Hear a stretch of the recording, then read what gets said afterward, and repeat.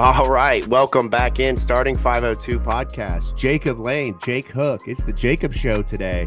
Filling in for Pressmeyer, who is out uh, with the vid. So best of best of luck, best of health to our guy there. Not the, the best way to start 2024, but here we are. Jake, how we doing, man? It's great to to be here with you. This is our first time doing a show together. I know Jake squared. It feels right.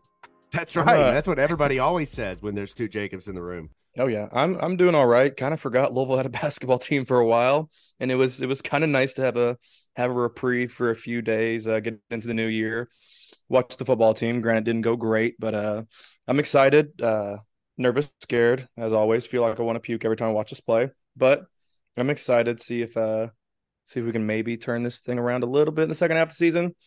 I don't know. Emphasis on maybe. Probably yeah, big maybe, not. Big maybe. Yeah, exactly. Big maybes around here. Well, that's great, man. Did you have a nice holiday? I know we're coming off of Christmas and New Year's. Anything exciting in your world? Uh, got a new driver. Got a Titleist Max D. Uh, okay. for my girlfriend for Christmas. So that's awesome, but also sucks because it's 21 degrees outside right now and uh, not golf weather, but it'll be there for me in the spring. So I'm excited about that. Just came back from Cincinnati from uh, New Year's. What about you? Yeah, man, everything has been great. I've got two kids that are here, six and two years old. So my holiday season has mostly revolved around chasing them as they've both been here at all hours of the day, uh, which is a major difference from when they are in daycare and school. One's in mm-hmm. kindergarten, one's in in uh, daycare. So it's been it's been great when they have not been here or when they have been sleeping. I've also been sleeping, so I'm I feel very well rested, uh, ready to be let down again though by Louisville basketball as we head into the new year. The, these like last 15 days off, man, it feels like the weirdest the weirdest kind of break I've ever seen in a Louisville basketball schedule. I know they do this a lot of the times, but they haven't played in what like 12 days, 10 days, something yeah. like that. I mean, it's been a grip, man. It's been a while. I mean, it feels like I went to the King of the Bluegrass tournament and we were all talking about how we expected Kenny Payne to be let go, all these things. And that, Jesus, that feels like three. I mean, that was two holidays ago. I've had a Christmas and a New Year since then.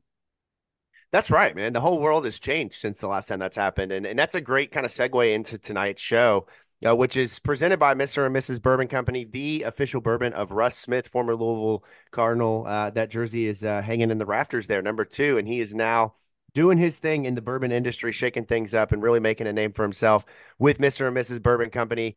The great thing about them is you can now purchase the the bourbons online, which is a huge deal for those who don't want to go out and fight traffic and go to the liquor store or maybe it's not in your area. So check out Seelbachs.com. We'll tweet out the link with the show, but uh, you can order four of those bottles there and uh, get it shipped directly to your door. But what we're going to get into the UK recap tonight uh, and just discuss briefly how things went uh, when the when the Cats came to town uh, shortly after Christmas, and then also dive into the decision of U of L officially kind of putting some uh, officiality to it. I don't even know if that's a word, but putting some uh, a statement from Josh Heird via WDRB and Eric Crawford out there regarding the status of Kenny Payne. Uh, Jake, as you mentioned, there was a lot of kind of rumors and a lot of internet noise about Kenny being done after the Bellarmine game and Kenny being done after the Pepperdine game and then after the Kentucky game. And it really did think it made a lot of sense on paper to to move on with this break. But uh, you know, that's there's a bigger discussion to to have there. So we'll get into all of that as well as uh, preview conference play, which really gets underway officially on Wednesday night as Louisville uh, travels to Virginia. Um, an interesting basketball team, an interesting basketball game. Unfortunately, Virginia is going to be uh, wide awake, if you will, uh, after a loss, a blowout loss to Notre Dame, which we'll, we'll get into all of that because I think there's some nuggets from that game that really are, I don't want to say condemning of Kenny Payne, but really just kind of paint the picture of where we are with Louisville basketball. But Jake, let's let's just dive right into the UK game, and and I don't want to spend too much time on this because it has been so long ago that this game actually took place, but you can't talk about keeping Kenny Payne in that conversation without getting into this one. Uh, the final score that one, 95 to 76, probably could have been a lot worse. Seemed like Kentucky kind of pulled the dogs off late, but um, you start the game really competitively. You really kind of see this energy, this life in Louisville. You say, okay, most likely this isn't sustainable because when has it ever been in the Kenny Payne era, right? You think of the Indianas and the Texases and the uh, the Cincinnati last year and Maui and all these games, right, where they've been competitive but can't hold it together. And then, sh- sure enough, they start to kind of fall apart. But there was some exciting things at the beginning of that game, particularly Brandon Huntley Hatfield that kind of stood out. What were your thoughts just about how things went and the overall kind of hoopla around this game and and what kind of played out. Yeah, that final score is news to me. I, I watched us. We were up five to zero, and then I decided to turn the TV off. So I just assumed that we had won 100 to zero. Stop the count, man. That's what they say. I wish they would. But man, I mean, like you said, competitive early on. Like we've seen, we know that this team in spurts can compete with some of the best teams, but there's just not enough consistency throughout the game to be able to hang with teams like Kentucky. I mean, bright spot, Brandon Huntley Hatfield, eight for eight, 16 points, 11 rebounds, played like the dude that we know he can when he puts his effort in fully. So, I mean, that was nice to see. But uh, outside of that, not a lot of bright spots. I mean, early on, thought we had a bit of a chance, but then game gets away, guys start shooting bad shots. The defense is just that was really the biggest thing. I mean, it's the defense. Can we just don't move as a defensive unit well enough to be able to play against a team like Kentucky when they've got five shooters or at least four shooters on the floor at all time. All they have to do is get penetration, one kick, one swing, wide open three. I mean, I don't even know how many threes they hit. It, it, it felt like 20. I know it probably wasn't, but it felt like 20. I think they hit 12, but it it easily it easily felt like even more. And Jesus Christ, Reeves made us made us his B word. Went yeah. for 30 on us. So uh, that one that kind of shocked me. I mean, I know Reeves is a solid player, but he played really, really well, shot really, really well. Tre Mitchell, Justin Edwards, DJ Wagner, I mean, Rob Dillingham, Reed Sheppard, they all came out and played. I mean, really, Louisville to me, Brandon Huntley Hatfield played well. Manny gave us energy like he always does. But I mean, besides that, Skyy turned the ball over, took some bad shots. Ty-Laur, did, I think he scored two points, didn't really affect the game as much as I had hoped that he would. So um, obviously disappointing, but kind of expected. I didn't think we'd give up nearly 100, but I knew it'd be a lot. Yeah, you know, one of the things that really was frustrating as the game started to separate itself uh, in terms of Kentucky kind of taking over was the the ability of Kentucky to get down court at about two dribbles and a pass to a wide open three. I mean, you saw time and time again that Louisville would move the ball, really kind of get a good look. The rebound would flank off, right? UK grabs it and boom, they're off and running. U of L, no transition defense. Nobody knows where their man's at. No one really knows what they're doing. And then you find, you know, Reed, uh, uh, Rob Dillingham gets the ball on the wing, kicks it to the corner. Boom! Antonio Reeves wide open for a three, or Tre Mitchell wide open in the after the you know the pass from the the wing inside.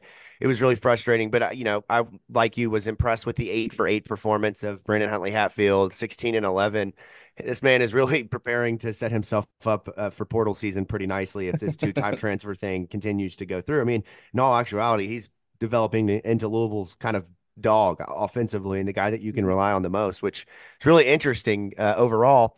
Another note I just want to point out here the bench and the rotations, man. I, I'm not sure what the plan was here. I'm really not. When you look at this, you had two guys play more than 10 minutes off the bench. Curtis Williams, 22 minutes. And you see glimpses of kind of some really special basketball with Curtis Williams, like once a game, right? Like the ability to hit the dribble, at, eh, to pull up off a dribble and hit a jumper as a freshman. You don't see that a ton. Uh, so it's nice to see it when he does. But uh, the other guys played six minutes. Uh, Jovanovic and Emmanuel Okorafor. Everybody else just a, a, single one minute for a participation stat.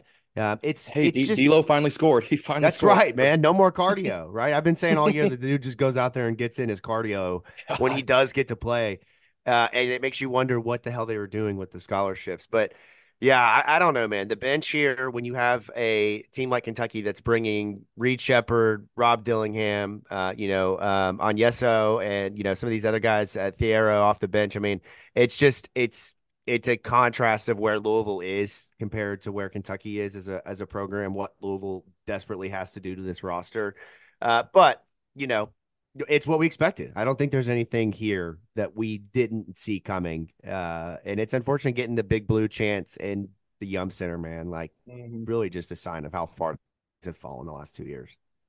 It's uh it's it's disheartening. Yeah, I don't really know what the rotation is. I don't I don't think Kenny does either. I think it's throw him out there, see if see if I like the minutes that he's playing. If I do, he'll get 15. If I don't, he gets six minutes. There's like no consistency there whatsoever.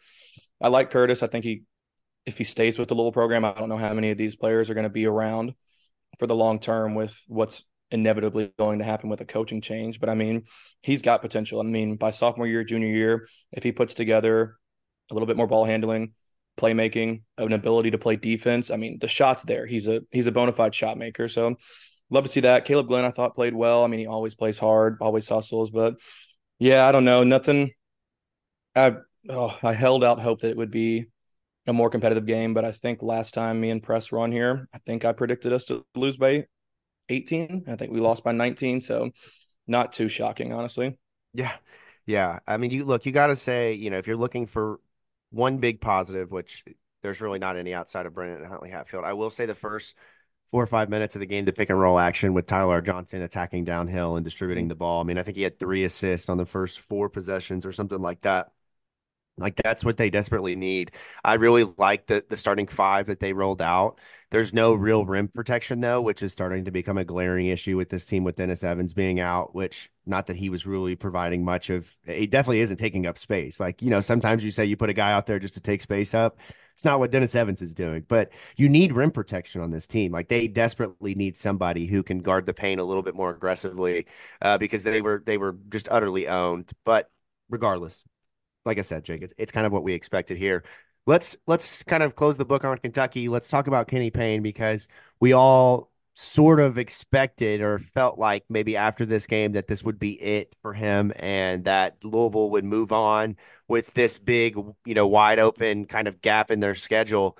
And they they didn't and they chose not to. There's a number of factors, and obviously we're not going to really ever know what they are. But that $8 million buyout that Louisville is staring at with some of the financial issues that they have going on as an athletic department probably kind of are a big part of it. The other part of it is who are you going to make your interim, right? I mean, we, I know you guys have talked on this show about Danny Manning. Pretty clear that Danny Manning wasn't interested in being an interim. I know there were some reports of that early in the season from like the Truly Donovans of the world uh, and some of those coaching Twitter handles that, you know, get things right every once in a while. But Nolan Smith, you think that they would do that, but no. I mean, obviously they they decided that that's not the right move. Josh Jamieson, not even I, am not sure even qualified to be an assistant basketball coach, let alone a head basketball coach. Um, and then there were rumors of some guys off the street. You know, there, you know, I can David Padgett was a name that was thrown out there. Mark Lieberman was a name that was thrown out there. Um, I heard some rumblings about potentially a guy like Luke Hancock being involved in some kind of Jeff Saturday role. Um, so they definitely turned the stones over and explored. But whether it was the board, whether it was cold feet, whether whatever the deal was, Louisville decides not to move away from Kenny Payne, with Josh Heird making an official statement saying, Kenny and I have had a number of conversations throughout the last week, and Kenny is going to serve as our head coach as we move into the new year find it interesting, Jake, that he didn't say for the rest of the season. That's that's kind of that uh, read between the lines there. Uh, he continues on to say, and I'm going to do what I do with every one of our programs, which is evaluate what's happening throughout the season. So I'll, I'll just kind of get out of the way here after setting all that up and and hand over. What are your thoughts on the decision to keep Kenny Payne, and do you see any type of scenario? Uh, where Louisville and Kenny can kind of figure it out, and Kenny remains the head coach of the program long term. Yeah, I mean, I thought it seemed like it was lining up perfect with this 11, 10, 12 day break that we had afterwards. That if you're going to make a coaching change, it would come after that Kentucky game. You give whoever that next coach is enough time to bring in his system or change things around, whatever it is. I mean, I think that $8 million buyout is, it has to be the biggest deal. I mean, especially if you're looking to go get a new coach, whether that's Mick Cronin, Nate Oats, Eric Musselman, whoever it is, like you're going to have to pay money to get them from that team. So I guess if the board believes that saving that $8 million can help them get that next guy, then I mean, I'm okay with it.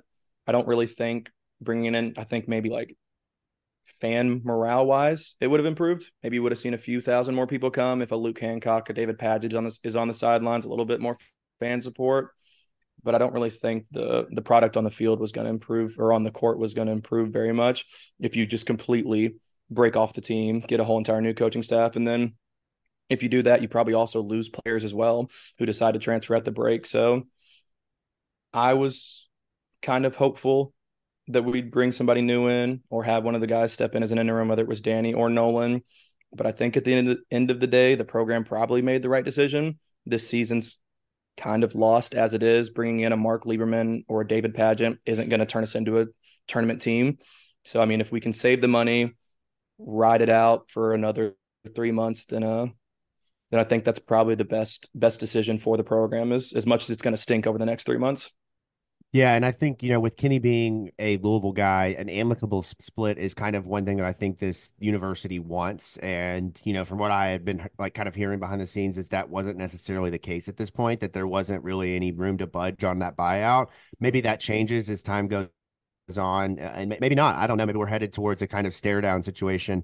Maybe we can find a university who has money to come pay this eight million dollar buyout. Like, is there another basketball Cincinnati equivalent here, like a like a DePaul, like somebody who just has stupid money that's willing to come and pay Kenny? But no, in all seriousness, um, I, I really am confused by a lot of things. Obviously, have been for two years now. Uh, welcome to the club. I think everyone sits in that same bus, but when you have a guy like Nolan Smith right, who is young, up and coming, considered to be uh, one of the top names in college basketball as an assistant. Whether that's true or not depends on you know who you're talking to. Um, was interviewing for G League jobs, was potentially involved with the Temple job last offseason. If that's the case, you have any slight interest in seeing what's there. Why would you not go to Nolan Smith as the interim? I, I, that to me kind of is a bigger issue here with this program. Nolan seems like the easy answer, and he's not willing to step in. Um, I think for his future employment, that's a bad look. Like in terms of wanting to be a head coach, like if they're willing to move on from Kenny and Nolan isn't stepping in or isn't, you know, whatever the case is, being given that opportunity, I think that's a really interesting kind of knock on his resume when this situation is so bad. Uh, but like you said, I think that what's firing Kenny do right now, besides maybe put a few more butts in seats, you know, Mm-hmm. Um, I can tell you that what will also put a few more butts in seats is beating a Virginia, beating a Miami, beating a Pittsburgh, getting a couple wins under your belt in a row. Like Louisville fans want to come to basketball games, but they want to see them win first. You know what I mean? And I think that's something that maybe they get a couple of wins under their belt and that starts to happen organically rather than kind of forcing it with a coaching change. Um, are there any candidates out there that are really floating your boat these days? Like, is there a is there a guy? I think that's kind of our big issue here. Is there's not a the guy like, I, and I know it didn't work out, but Chris Mack was the guy. Like, it was very apparent. Jeff Brohm was the guy. Is there a this person here is the the number one? Like, this is the fit right here. I mean, I would love like a Scott Drew. I think he makes so much sense. His buyout's not crazy coming from Baylor to Louisville is a natural upgrade. Facilities, attend well, not attendance right now. Attendance in the future when they're good. The recruiting ability, the money he can make there. I mean, I think that makes sense. And Scott Drew took a Baylor program that was last, second to last in the Big 12 every year, and they've won a national championship. They're now a perennial top 10 team every single year. So, in my mind, he's a perfect fit. I don't know what that interest level is there because he's kind of got them rocking and rolling. They're always top 15. I think he's got a job at Baylor for the rest of his life as long as he wants it. So that would make sense to me. Um, I would love a Nate Oats. I love that style of play, that up and down, run and gun, spread it out, shoot threes, dunk the basketball, kind of the way the game is going. He recruits well. So, I mean, I think there are a couple guys. I know a lot of people have spoken about Mick Cronin, which I think would be a fine hire. I would not be upset by that hire, but I know he's got a $24 million buyout. And if we're balking at the idea of spending eight million to get rid of Kenny right now, I don't know where we're gonna who's gonna step up and be like, yes, I'll I'll get us 24 million. So I think to me, Scott Drew is my number one right now, but at this point, I'd be happy with anybody. Yeah, yeah, I definitely think that Scott Drew makes a lot of sense. And I think people will kind of say, like, why would he come to Louisville? But if you go back two years ago, Louisville talked to him, or there was some interest there potentially between the two programs before Louisville settled on Kenny Payne. And then last year he flirted with Georgia, which was really interesting. Ultimately, they hired Mike White. Um, but that's not a job that you would necessarily think Scott Drew would have any business leaving Baylor for. But yeah, he's a great hire. And really, here's my thoughts on this. Okay. I think that the next hire has to check four boxes, four very specific boxes in terms of this candidate has to have at least three, if not all of them. Okay. Number one being they have to have a splat, they have to be a splashy hire. They have to come with some form of name brand recognition, right?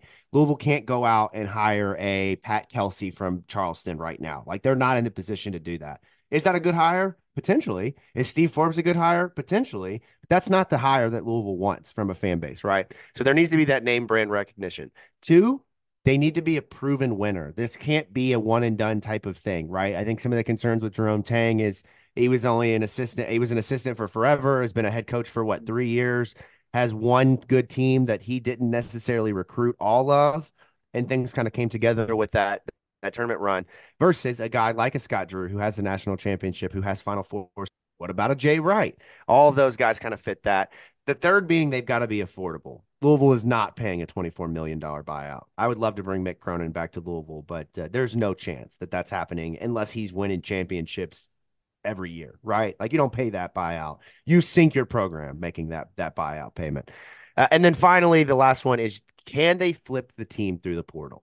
Yeah, that's got to be just as much of a consideration as as anything else, Jake. Can they flip the team in a one year situation through the portal? I believe this team is if they can keep some of these pieces, this team can easily be built up to be a top 25 basketball team starting next season. With the right with the right coach who brings in guys from his own team and then some lower level, you know, non-power 5, non-power school transfers via the portal, I think they can do that. So I need a coach who can check all four of those. To me, Scott Drew. That's where it starts and that's where it ends. I am willing to entertain the idea of Chris Beard but I need some very I, I need some proof that that legal issue is that there was something there there like that was it you know whatever the case is that shows he was innocent. Outside of that i you cannot mess with that because you simply cannot afford to have that come back up in two or three years. So what what do you think about those four boxes? Do you think there is a hire out there that fits all four of those? Or do you think that louisville's going to have to kind of sacrifice some of that to get the guy that they want in that position I mean, like we both agreed to it. Great minds think alike. I think Scott Drew m- meets all those boxes. Splashy hire for sure. Everyone who knows college basketball knows Scott Drew. I don't know what his buyout is, but I, I know it's not 24 million like Mick Cronin's is. Yeah. Inability, he, he's recruiting really well already. Transfer portal, I know he's not like as, as big into. He's not like an Eric Musselman or anything where he's ripping in eight new transfers every single season. But I mean, to me, I think that's the guy that checks all yeah. the boxes he does well in the portal, man. Just looking at his roster mm-hmm. right now, they have several guys that their their roster makeup is something that I think a Louisville fans like it would be really happy with is what Scott Drew does there, right? So he's got a guy like Ja'Kobe Walter, who's a five star guard, one of the best players in the Big Twelve already as a freshman.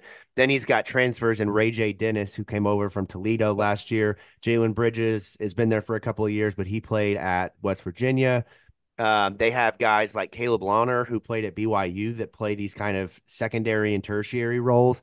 And then they have these hidden gems like uh, Yves Missi is their starting center this year, going to likely be a top 15 pick. I'd never heard of this dude before. I, I have no, I until just the last couple of weeks, but he's a double double on a nightly basis as a freshman. Jonathan Tachma Tachua, I, I'm never going to pronounce that right, but they, they have these guys who just like it's like just the roster is perfect and how it meshes and how they play his style. I think he is everything that Louisville fans want. If Jay Wright says no, I think you have to make that call. Do you agree? You have to make that call. I mean, you have to make the call. I, I think it's a it's a dream that most likely will not come true. But I mean, you, you have to make the call. I think I was listening to Rutherford's radio show last week, two weeks ago. He also he talked about Scott Drew as one of the guys, Mick as one of the guys.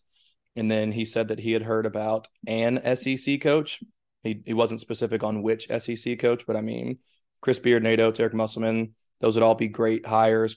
Chris Beard, obviously, pending some legal issues. I don't think you can take that black eye again with a program that's gotten in trouble three times in the past decade. You can't take that black eye. So unless he gets some clarity on his legal situation, I really don't think that's a that's a guy you can touch. But I mean, a NATO to Scott Drew, someone someone like that, I think would, would be perfect.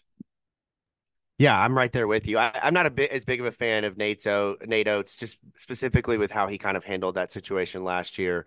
Mm-hmm. Um, but you know, it's one of those things where you, if they're again, if you feel comfortable, if the AD is making that hire, like a guy like Josh Heird, we know the homework has been done and all of that's there.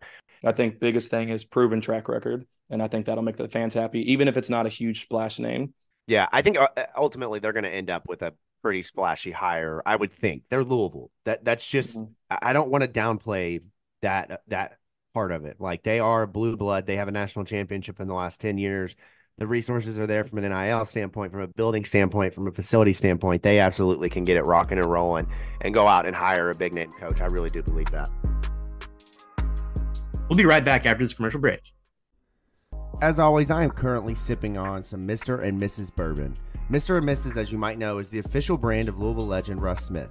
But what you might not know is that Mr. and Mrs. is becoming a national and global brand, shaking things up in the bourbon industry. Like basketball, bourbon has long been a passion for Russ, dating back to his college days.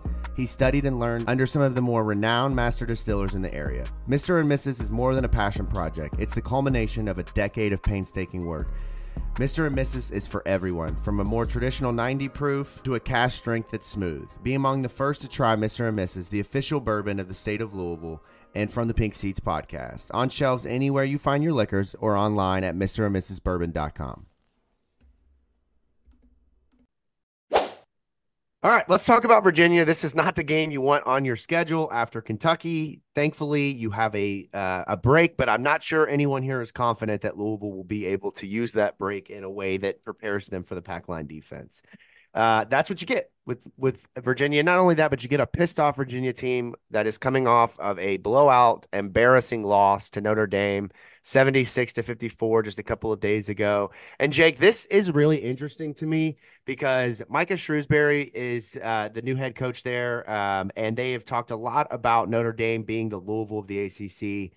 And look at what he's done, getting a, a sort of signature win, two games into conference play. I mean that's what Kenny's been we've been waiting for. Like why is it so difficult? It's been 40 games and we're still waiting. It took him two. Literally took him two to get that signature win in the conference. It's just frustrating as hell. And when you talk about Virginia, you're going to get um, a lesser quality Virginia team than maybe you have in years past in terms of star power, being at the top of the ACC, but you're going to get a team that's going to do the same damn shit that they've done every year, Jake. They're going to defend the hell out of the ball. They're going to play that annoying pack line defense. They're going to try to force Louisville to get uh, sat- to be satisfied with deep three point shots, uh, turning the ball over, trying to make long court, you know, cross court passes, and then they're going to play sound basketball where they don't turn the ball over, probably score 50 to 55 points and call it a day. Uh, that's what they do. That's what they have always done. Uh, and this year they've got an interesting uh, set of characters. Uh, what, what, just overall, what are your thoughts on Virginia basketball? Do you like that style of play, or does it, do you just hate like having to watch that? I hate having to watch it. I mean, good lord, I'd be so happy to have the success that they've had at this point. But God, it is just a bleak, miserable watch every single game. Forty-eight to fifty-two. I mean, you're you're looking at like Big Twelve football teams that score more points than Virginia basketball does. I mean, it is I hate playing them every single year, especially on the road. And my God, this is going to be one of the least fun watches. They're the exact same team they always are. Great defense, not going to turn the ball over. Like you said, they don't have the Kihei Clarks. They don't have that huge star power that they've had in the past. They've got Reece Beekman, who's good lord, feels like he's been there since 2012. Mm-hmm. He's their dude. He's their he's the guy who stirs it. He's the straw that stirs the drink. He still can't shoot, but they've got a bunch of solid players. They just don't have those big stars like you're kind of used to seeing Virginia have. But they're still well coached. They've still got four or five dudes that can go and put up 10 to 12 points every single game. And that's all they need because you're only going to score 51 on them. So it's a it's going to be a bleak one. It's going to be most likely a hard watch. Notre Dame, the reason they were able to be successful against Virginia is because they shot the hell out of the three. They shot they 48%. Sure they knocked down 11 threes. Unfortunately, that is not Louisville's MO we hit five threes a game. We shoot less than 30%.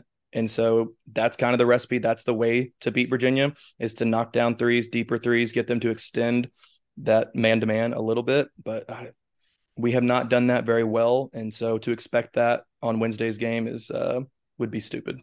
Yeah, yeah. The, the the thing that's really interesting about this Virginia team, though, not that they've ever had like a necessarily imposing big man. It's been since uh, Diakite that they've really had somebody who can kind of uh, defend the paint, but they've had uh, you know the the Kadin Shedricks and uh, Francisco Caffaros of the world the last couple of years.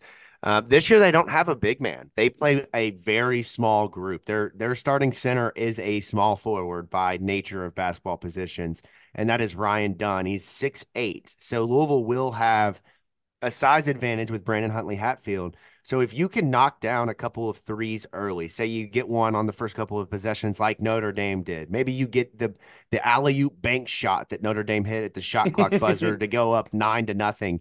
Uh, you get those kind of you know shots under your belt, and then Virginia starts to kind of uh, tighten up, and maybe then you can start getting the ball into Brandon Huntley Hatfield because he could control this game. I mean, there is no one who can guard him at all. He should theoretically be able to score 20 points and grab 10 rebounds in this game. Uh, but again, Virginia is Virginia. And what makes them so special this year, Jake, is they have, and not special, but what makes them interesting is they have a lottery pick who does not have the ability to shoot the ball, which you say, wait, what? That doesn't make any sense, right? But what he is is a potential uh, defensive player all uh, of the year in the ACC candidate. He is a potential future NBA defensive player of the year type of guy, and that is Ryan Dunn. Um, again, he's not going to wow you with numbers. I think he averages like eight points a game, uh, something like that. I mean, he he shoots 19%, and hasn't hit his three since since Thanksgiving. Um, but that you know what that means? He's going to hit three or four this weekend or, or on Wednesday. He, he's he's good. He's good for a three plus. Put that on your parlay. Yeah, are, are, I was gonna say. So, is that who we're going with to be our sneaky shooter to show up? Remember last year it was Reece Beekman. He hadn't hit a mm-hmm. shot in months from deep and came in. I think he hit like four or five threes. Uh, we've seen, you know, the some of the the the wild just shenanigans of Virginia past. I'm going with either Ryan Dunn showing up and going bananas or Jake Groves, who is the most. Virginia looking Virginia player you'll ever see. Are you going Ryan Dunn? If, if we're just putting some predictions here.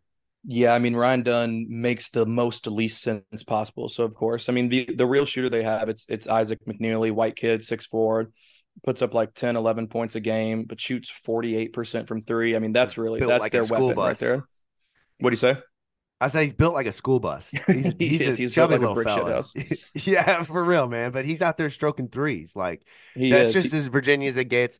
They also have Andrew Rohde, who is a transfer, I believe, from St. Thomas if I'm not mistaken, uh, or maybe Merrimack. I can't remember. Uh, they have a couple of transfers that came from kind of smaller schools. I think Jordan Minor might be the one that's from Merrimack, but they've got you know some guys that are veterans. They you know they don't the, typical Virginia. They don't turn the ball over. They do all of that.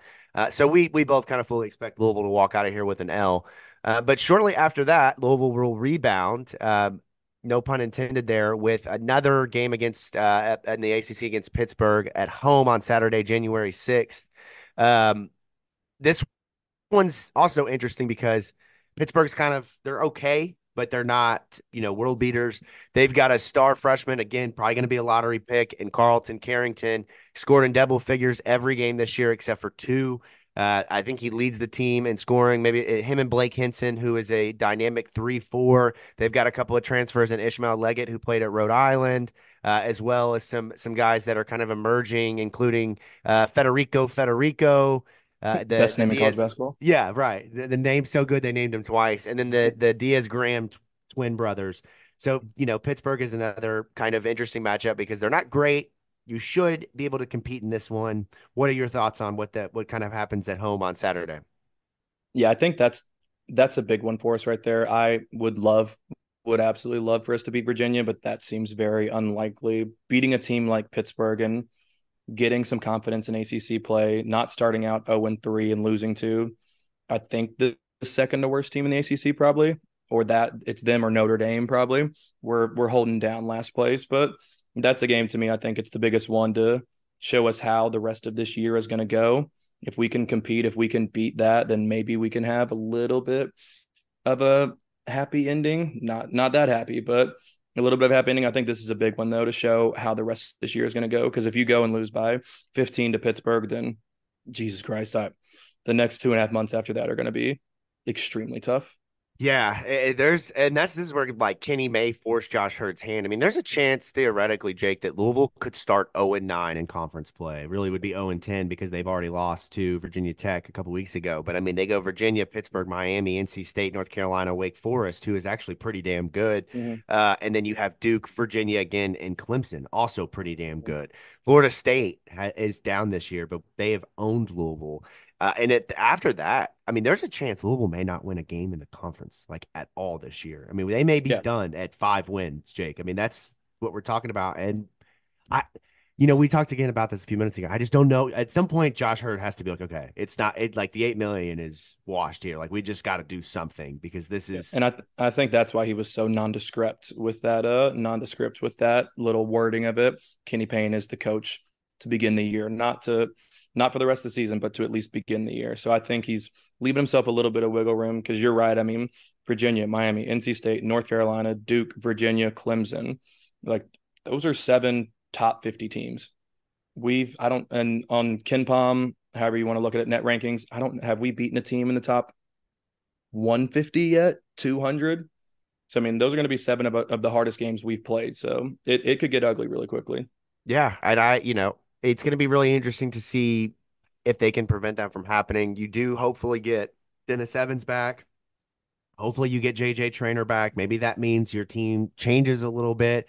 If you can kind of get the pieces together and start to cohesively play a little bit more sound basketball, maybe they do sneak some of these wins. Maybe it's Pittsburgh and then it's NC State. And then, you know, you steal a North Carolina or you steal that second game at home against Virginia. Maybe you upset Clemson maybe you can get some positive momentum. But a lot like the Bears and Cardinals this weekend, Louisville fans are like, my God, please don't win enough to keep Kenny Payne, right? like that's the goal for most. If I know people honestly will cheer for their teams and do their thing, Jake, but like most fans in the back of their head are saying, "My God, Kenny, just lose like as many as you can, please." So there's no chance. Yeah, we talked about that that early on. We wanted either eight wins, and we know Kenny Payne's not the guy. We move on, or we want a tournament. We want a yeah. tournament team. We don't want 15 wins because then that leaves a small portion of the fan base being like, well, what about a third year? He he tripled his wins, all that. I I, I do not want that at all. So if we could turn this thing around, make it to the tournament, amazing. Do not think that will happen whatsoever. But yeah, that's that's definitely fear in the back of my mind watching these games. But I'll always cheer. I'll always want us to win no matter what. I just it's the sick puppy that I am. I and I will tell you, man, I still believe in my head just about every game that Louisville's going to win. Like you know, ultimately, oh. it depends on where my bets end, end up falling on if I believe that for sure. Mm-hmm. But like, I'm I'm an optimistic fan every time Louisville plays. I am the clown meme. Like I mm-hmm. will show up. I will go to the game probably against Pittsburgh. I will continue to watch because I I am addicted to it. Like I hate watch it at this point, but I mm-hmm. can't stop, man. I can't stop. So here's what I'll say: if you have if you're listening to this and you're still and you're not watching the games, it's very unlikely that that that combination mix. Give me your tips on what to do, what you're doing to prevent yourself from watching, because my wife would probably like a lot less angrier version of myself after Louisville games. So maybe I can pick up a hobby or something this year, Jake. oh, my we'll girlfriend see. literally, we watch every game and I'm just pissed as can be. And she's like, why do you do this? And I'm like, I don't know. I can't stop. I'm, yeah, I'm just addicted. like, it doesn't matter. I'm going to be there through it all. I'll watch every single game and then I'll talk about it the very next day and be upset. But I'm a ride or die, man. I mean, that's it'll it'll it'll get better. It'll eventually get better. I keep telling myself that.